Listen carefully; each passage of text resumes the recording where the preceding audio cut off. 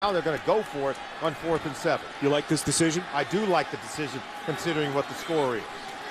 11 minutes left. They take a chance. Thomas catches it and is into the end zone. So Gus Bradley's roll of the dice pays off. And he breathes new life into his Jaguars. I love the fact that they can understand the matchup. Now watch Weddle. He's got man-to-man coverage right there on Thomas. But then watch Thomas. He recognized that Weddle has man-to-man. He gets outside and then watch him get back underneath and inside. And Bortles throws a strike to Julius Thomas, who made two big-time catches on this drive, including this one for a touchdown.